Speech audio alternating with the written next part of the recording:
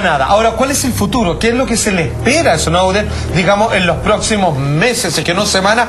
Lo siguiente, donde no está cortado lo que dijo eh, Gonzalo.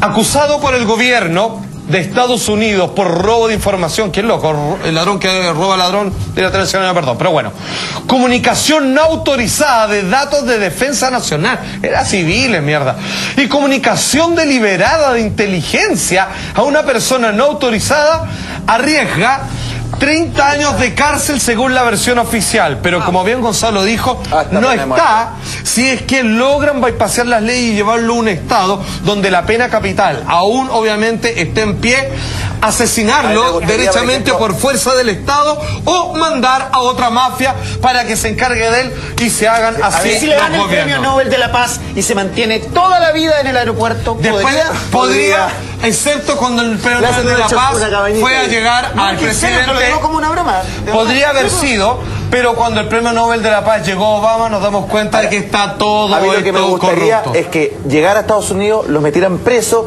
y se armaran revueltas en Estados Unidos. ¿Qué pasaría de todas Eso me gustaría. Sí, y que no exigiera. pasar a ¿Sabe lo que pasaría? creo. Lo que pasa siempre. Mo- moriría en extrañas circunstancias.